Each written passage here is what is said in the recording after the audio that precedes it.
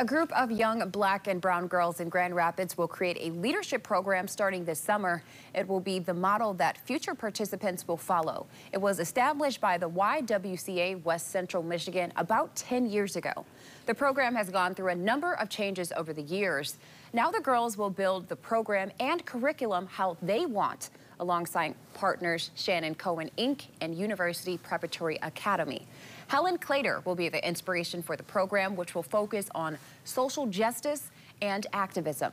Claytor was the first African-American president of both the Grand Rapids YWCA and the National YWCA. She built programming here that was really focused on the voice, the power, the ingenuity, the resilience of black and brown girls. And we are so proud to be able to do that here through this relaunched program. Between 8 to 12 girls will be part of this year's pilot program. The program will officially launch in the fall of 2024.